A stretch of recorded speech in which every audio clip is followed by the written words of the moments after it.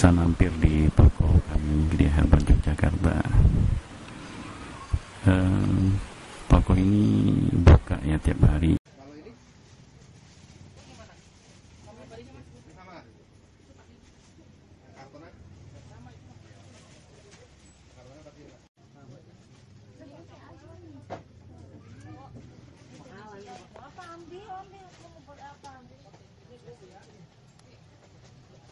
yang sudah teruji secara klinis ya bahwa produk tersebut sudah layak edar dan tidak